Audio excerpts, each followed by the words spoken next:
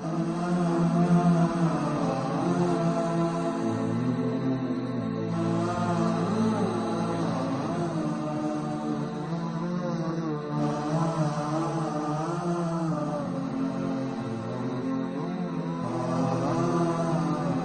السلام عليكم ورحمة الله وبركاته. بسم الله والحمد لله والصلاة والسلام على رسول الله صلى الله عليه وآله وسلم. هذا هو الدرس الثالث عشر من آه، سلسلة اعرف حبيبك صلى الله عليه وآله وسلم. وإحنا بنتكلم عن مختصر الشمائل المحمدية وبنشرح كتاب مختصر الشمائل المحمدية للإمام الترمذي رحمه الله صاحب السنن.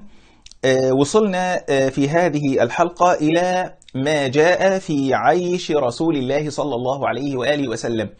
نقدر نسمي الباب دوت بالمصطلحات العصرية نقول المستوى المعيشي اللي كان عايش فيه النبي عليه الصلاة والسلام الدرس ده أو الحلقة دي أنا بعتبرها من أهم الأبواب اللي موجودة في هذا الكتاب ليه؟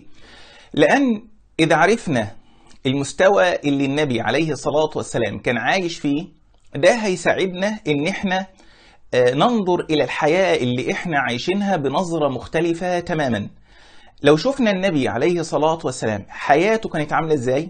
ومعيشة النبي عليه الصلاة والسلام وهو سيد ولد آدم وهو خير خلق الله عليه الصلاة والسلام وهو أحب الخلق إلى الله عز وجل. ومع ذلك العيشة اللي كان النبي عايشها عليه الصلاة والسلام قد إيه كانت شديدة؟ وقد إيه النبي عليه الصلاة والسلام عانى معاناة شديدة جدا في حياته عليه الصلاة والسلام؟ كل واحد فينا لما هيقارن حياته أي حد بيشاهد الحلقة دي حياتك مهما كنت مهما كنت حياتك اللي أنت عايشها مختلفة تماما عن الحياة اللي كان النبي عليه الصلاة والسلام عايشها. لما تشوف النبي كان عايز عايش إزاي عليه الصلاة والسلام هترضى بالحياة اللي أنت عايشها. وهتشكر ربنا سبحانه وتعالى على النعم الكتير جدا اللي موجودة في حياتك. وهيكون عندك نوع من الصبر. ومن حمد الله عز وجل على نعمه في نعم كتير جدا جدا جدا. إحنا عايشين فيها في حياتنا ولكن إحنا مش مقدرين النعم ديت. لما نقارن حياتنا بحياة النبي صلى الله عليه وآله وسلم وهو سيد ولد آدم عليه الصلاة والسلام كل واحد فينا هينظر لحياته بنظرة مختلفة كتير جدا عن اللي هو بينظر لها الآن. أنا متأكد إن كل واحد هيشاهد الحلقة ديت هيبدأ ينظر بحياته بشكل مختلف ينظر إلى حياته بشكل مختلف. أنا واحد من الناس اللي استفدت جدا من آه، تحضير هذه الحلقة ومن قراءة هذه الأحاديث. أثرت في أنا شخصيا ومتصور إن هي أكيد هتأثر في حضراتكم إن شاء الله عز وجل. آه، الإمام الترمذي رحمه الله ذكر 11 حديث في هذا الباب منها 8 أحاديث صحيحة وثلاث أحاديث ضعيفة. إحنا هنذكر الأحاديث الصحيحة. بسم الله. توكلنا على الله. الحديث الأول والحديث آه، محمد ابن سيرين قال كنا عند أبي هريرة وعليه ثوبان ممشقان. يعني أبو هريرة رضي الله عنه الصحابي راوية الإسلام رضي الله عنه كان لابس آه، ثوبين جلبيتين يعني أو حلة اللي هي بتبقى آه، إزار ورداء. يعني المهم لابس ثوبين من وعليه ثوبان ممشقان. الثياب الممشقة اللي هي مصنوعة من الكتان وبتكون مصبوغة مصبوغة. وده نوع من الثياب اللي تعتبر يعني بم- بمقياس الزمان دوت كانت تعتبر ثياب غالية ثياب مرتفعة القيمة يعني. آه، قال وعليه ثوبان ممشقان من كتان. الكتان معروف اللي هو بيتصنع منه القماش. قال فتمخط في أحدهما. يعني أخذ طرف الثياب وتمخط فيه. فقال بخن بخن بخن بخن دي كلمة تقال يعني إيه لما حد يكون معجب بشيء يعني. زي إحنا ما بنقول كده يا سلام يا سلام كده معناها كده. فقال بخن بخن يتمخط أبو هريرة في الكتان. يعني أبو هريرة وصل بيه الحال إن هو بقى بيتمخط في الكتان القماش الغالي ده. أبو هريرة بيتمخط فيه. افتكر بقى في اللحظة دي إيه؟ حياته أيام ما كان مش لاقي ياكل رضي الله تعالى عنه. فقال لقد رأيتني وإني لأخر فيما بين منبر رسول الله صلى الله عليه وسلم وحجرة عائشة رضي الله عنها مغشيا علي. يعني كان في المسجد النبوي كان أحيانا يقع من طوله يغمى عليه. رضي الله عنه. يغمى عليه من إيه؟ من الجوع.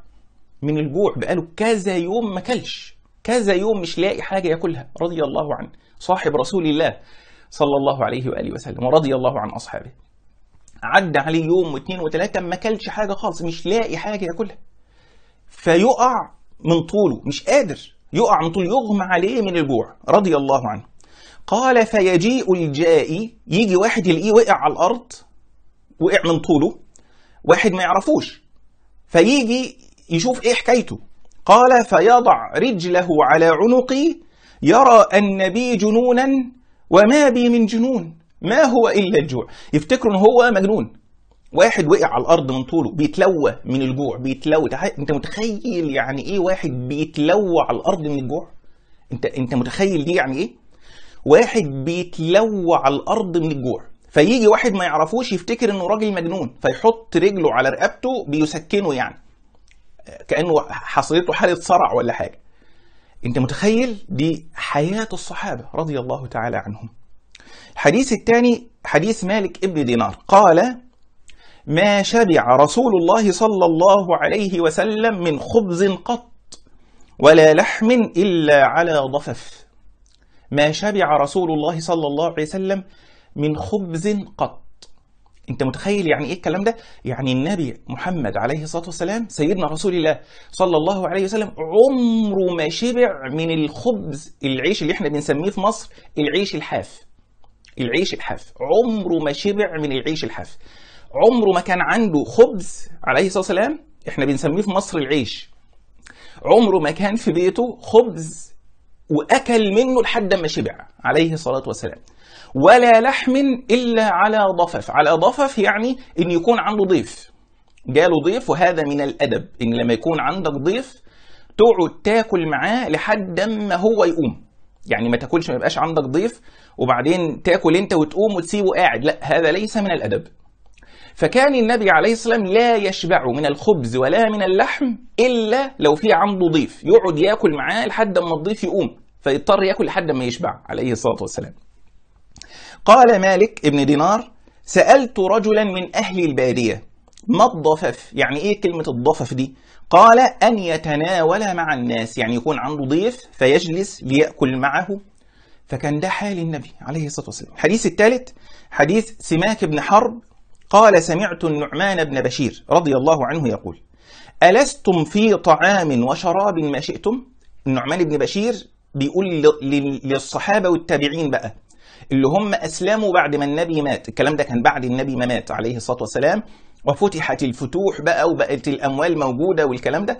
فالنعمان بن بشير بيقول للناس اللي قاعدين حواليه بيقول لهم إيه؟ ألستم في طعام وشراب ما شئتم مش أنتوا بتاكلوا وتشربوا زي ما أنتوا عايزين؟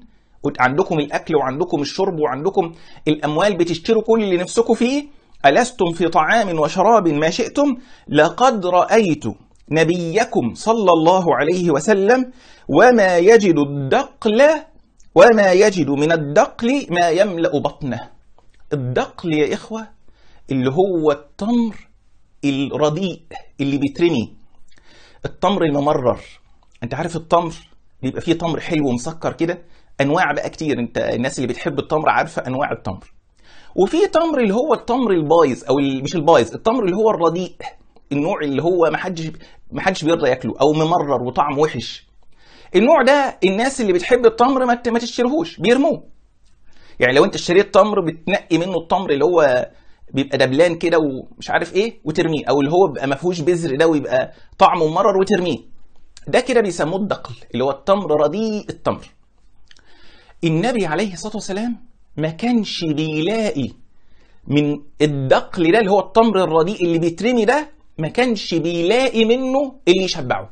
يعني ما كانش بيكون عنده في بيته عليه الصلاة والسلام من التمر الرديء اللي بيترمي ده مقدار ما يشبعه عليه الصلاة والسلام. انت متخيل يا أخي؟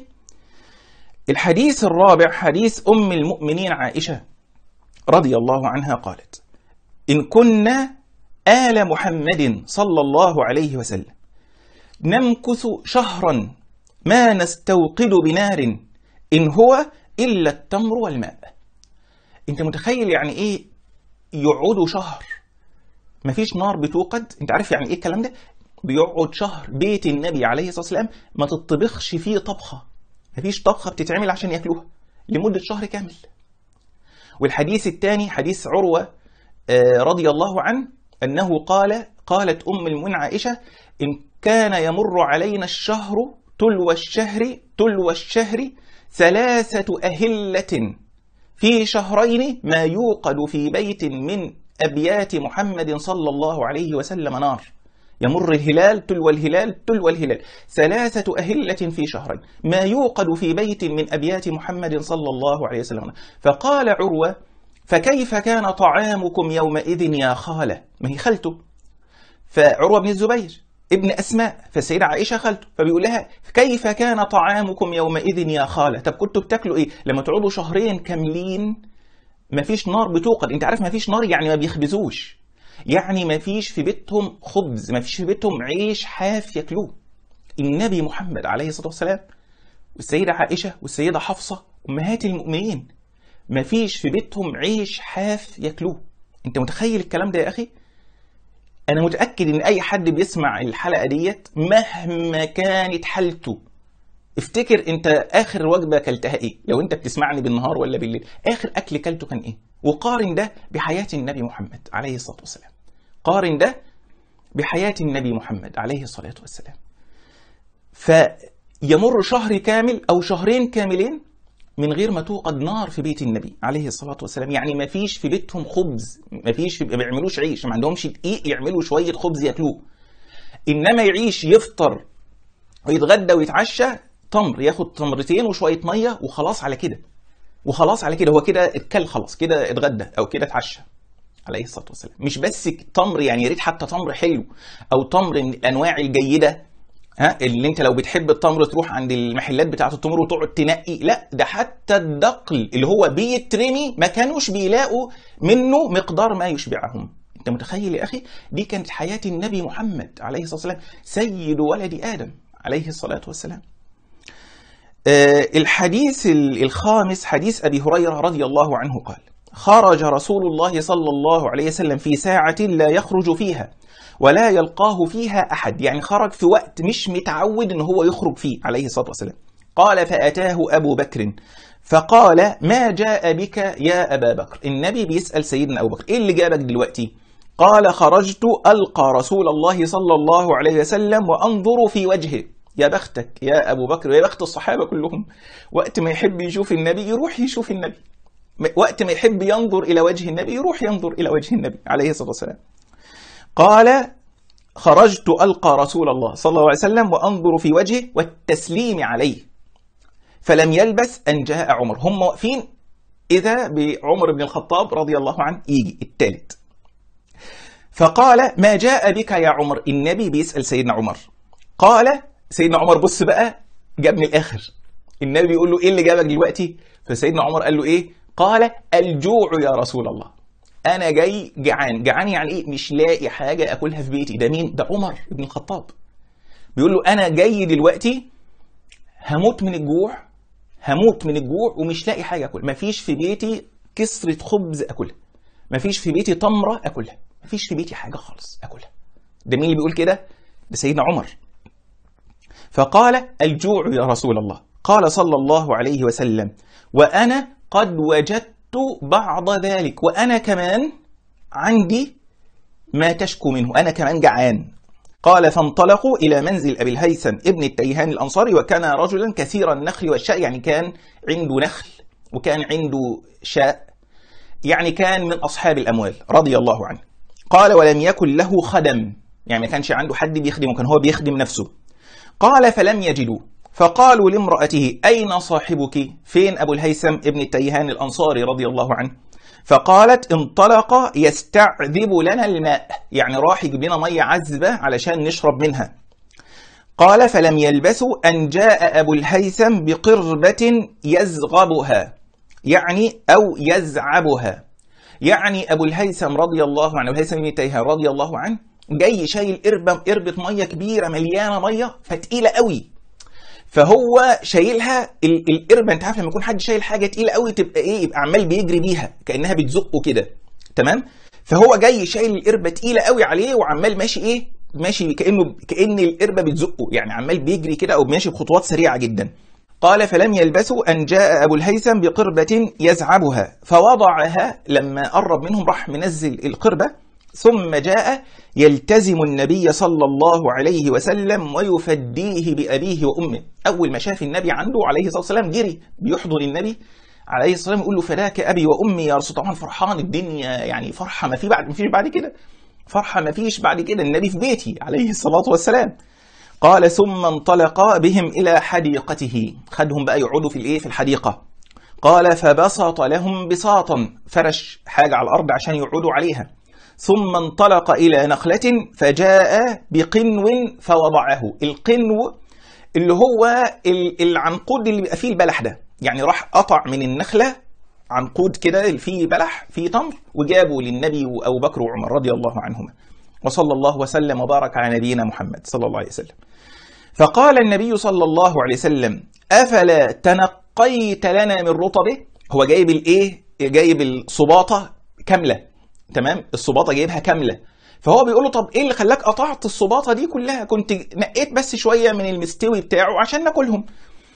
فقال يا رسول الله إني أردت أن تختاروا أو تخيروا من رطبه وبسر وبسره. يعني أنا قلت أجيبه لكم وأنتوا تنقوا اللي يعجبكم. اللي عايز ياكل من الرطب المستوي ياخد واللي عايز ياخد من البسر اللي هو الإيه؟ التمر الصغير اللي هو لسه لم ينبت وفي ناس بتحبه. فأنا جبت لكم الصباطه كلها كلوا بقى زي ما أنتوا عايزين. قال فأكلوا وشربوا من ذلك الماء. كلوا من التمر وخدوا بقى من المية اللي كان شايلها أبو الهيثم بن التيهان شربوا منها كلوا تمر وشربوا مية. فقال صلى الله عليه وسلم هذا والذي نفسي بيده من النعيم الذي تسألون عنه يوم القيامة. ظل بارد ورطب طيب وماء بارد. ده من النعيم. ثم لتسألن يومئذ عن النعيم. قال فانطلق أبو الهيثم ليصنع لهم طعاما. حب يعمل بقى إيه وليمة أو, أو يعني أكلة بقى حلوة كده للنبي ولأبو بكر وعمر. فقال النبي صلى الله عليه وسلم لا تذبحن لنا ذات در يعني ما ما ما, ما تاخدش من ال ال ال الشياه اللي هي بت- بتحلب لبن.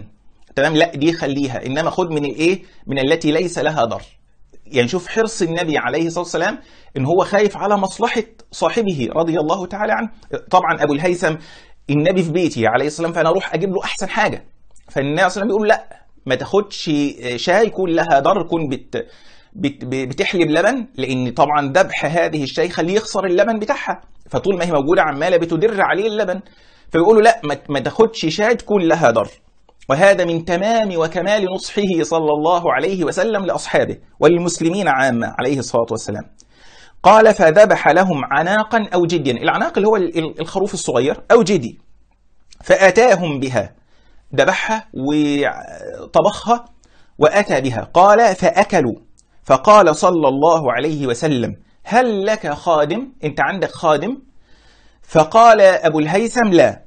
قال فإذا أتانا سبي فأتنا. شوف بقى ده في إيه؟ المكافأة على المعروف. وهذا من الأدب. ومن هدي النبي صلى الله عليه وسلم أنه كان يقبل الهدية ويكافئ عليها. فده من الخلق الحسن ومن الأدب. إن لما حد يعمل لك معروف ينبغي عليك إن أنت تكافئه على هذا المعروف. حد عمل فيك حاجة ترد إليه هذا المعروف وتكافئه عليه. قال فأتي صلى الله عليه وسلم برأسين ليس لهما ثالث. يعني جاله من السبي عبدين. آه، قال فأتاه أبو الهيثم. لما سمع أبو الهيثم طبعا الكلام ده بعد مدة يعني. لما سمع أبو الهيثم ابن التيهان رضي الله عنه إن في سبي جاء إلى النبي صلى الله عليه وسلم راح له بقى عشان إيه؟ يفكروا بالوعد بتاعه. فقال النبي صلى الله عليه وسلم اختر منهما. عندك الاثنين اهو اختار اللي يعجبك. فقال يا رسول الله اختر لي. اختار لي انت واحد منهم. فقال النبي صلى الله عليه وسلم إن المستشار مؤتمن. يعني أنت طالما طلبت نصيحتي أو مشورتي فالمستشار مؤتمن. فهذا فيه إن لو حد طلب نصيحتك لا يمكن تضلله وإلا تأثم على هذا. لو حد طلب نصيحتك أو طلب مشورتك يجب عليك أن تشير عليه بإيه؟ بما تراه صوابا. ولو مش عارف تقول له ما أعرفش. استنصح غيري أو استشر غيري. أنا ما عنديش خبرة في الموضوع ده ما عنديش دراية بالموضوع ده. اسأل حد تاني. فقال عليه الصلاة والسلام إن المستشار مؤتمن. خذ هذا وشاور له على واحد من الاثنين. فإني رأيته يصلي. فإني رأيته يعني ده دليل إن هو إيه؟ إن هو عبد صالح. واستوصي به معروفا. النبي عليه الصلاه والسلام بيوصي أبو الهيثم على هذا العبد. فانطلق أبو الهيثم إلى امرأته فأخبرها بقول رسول الله صلى الله عليه وسلم. فقالت امرأته شوف بقى النصح هذه المرأة وشوف فطنة وذكاء هذه المرأة الصالحة رضي الله تعالى عنها والصحابية الجليلة رضي الله عنها. فزوجته بتقول له إيه بقى؟ قالت ما أنت ببالغ حق ما قاله رسول الله صلى الله عليه وسلم أو حق ما قاله فيه النبي صلى الله عليه وسلم إلا بأن تعتقه. النبي قال لك استوصي به خير. مش هتعرف تستوصي بهذا العبد خير إلا إنك تعتقه. يبقى أنت كده استوصيت به خيرا. قال هو عتيق. خلاص طالما أنا كده أبقى وفيت خلاص يبقى هو عتيق لوجه الله. فقال صلى الله عليه وسلم إن الله لم يبعث نبيا ولا خليفة إلا وله بطانتان. البطانة اللي هم المقربين أو أهل المشورة يعني. بطانة تأمره بالمعروف وتنهاه عن المنكر. يعني أي حاكم بيكون عنده إيه؟ بطانتين. بطانة تامره بالمعروف وتنهاه عن المنكر. هذه البطانة الصالحة. وبطانة لا تألوه خبالا. لا تألوه خبالا يعني فسادا يعني تنصحه بالشر وتنصحه بالفساد وتنصحه بما يوبق عليه دنياه وأخراه قال ومن يوق بطانة السوء فقد وقي.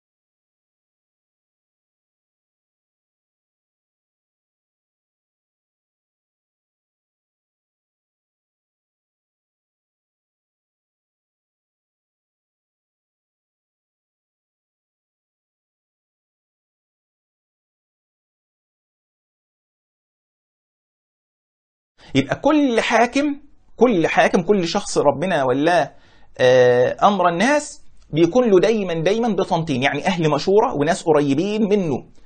إما أن يكونوا ناس صالحين فيأمروا بالمعروف وينهوا عن المنكر وإما أن يكونوا اناسا فاسدين يشيرون عليه بالفساد وبالضلال. فيأتي يسمع كلامهم هذا الحاكم فيأتي يوم القيامة وقد حمل آثام الرعية. لأن أنت متخيل واحد بيحكم رعية فيها ألوف الناس أو ملايين الناس أو عشرات الملايين أو مئات الملايين من الناس. كل قرار بياخده كل الناس دي في رقبته يوم القيامة. تخيل بقى لما واحد يقعد يتحاسب على كذا مليون إنسان. ده, ده حاجة كبيرة جدا جدا جدا.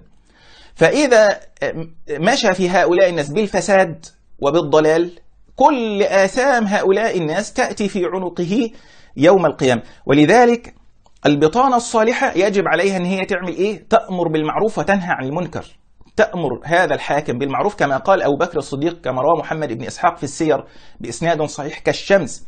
قال إن أحسنت فأعينوني وإن أسأت فقوموني. يبقى لما يكون حاكم بيحكم وحد يستطيع أن هو يصل إلى هذا الحاكم بالنصح ينصحه.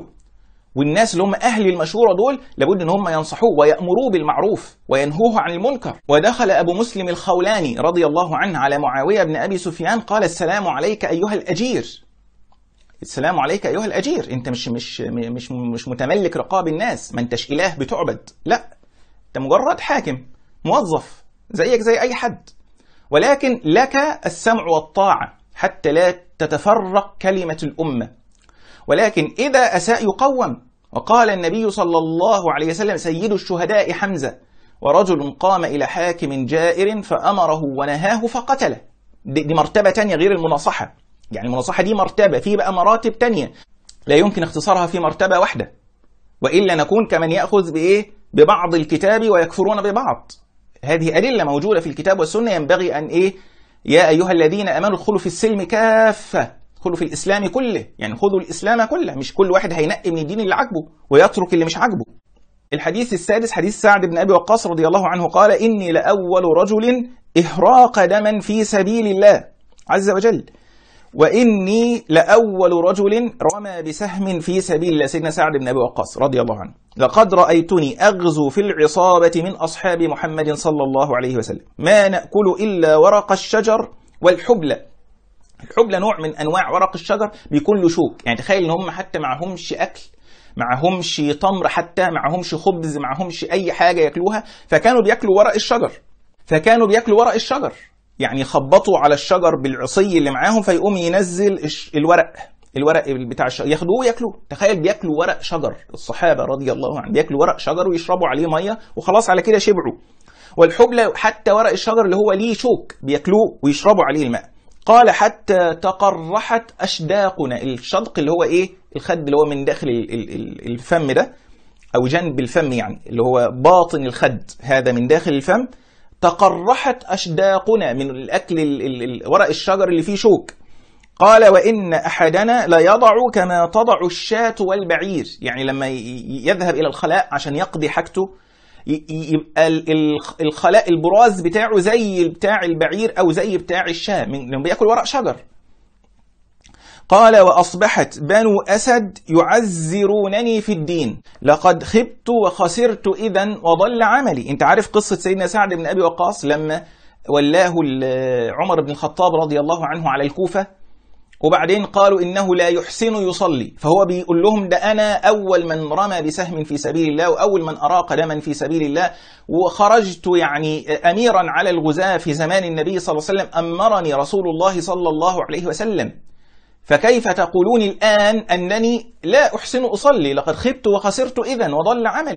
الحديث السابع حديث أنس بن مالك رضي الله عنه قال قال رسول الله صلى الله عليه وسلم لقد أخفت في الله وما يخاف أحد. النبي عليه الصلاة والسلام أخيف في الله من تسلط الكافرين واضطهاد الكافرين له ولأصحابه عليه الصلاة والسلام. فأخيف في الله عليه الصلاة والسلام. ولقد أوذيت في الله وما يؤذى أحد عليه الصلاة والسلام. ولقد أتت علي ثلاثون من بين ليلة ويوم وما لي ولبلال طعام يأكله ذو كبد إلا شيء يواريه إبط بلال. 30 يوم وليلة معاه بلال رضي الله عنه معهمش حاجة يأكلوها غير حاجة يعني تمر أو شيء قليل يواريه إبط بلال. يعني حاجة تتحط هنا تتغطى ما تبانش.